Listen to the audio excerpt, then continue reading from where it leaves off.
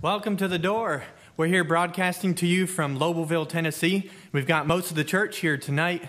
We're going to sing a song for you that we've really enjoyed singing um, in our church. It's called He Paid a Debt He Did Not Owe.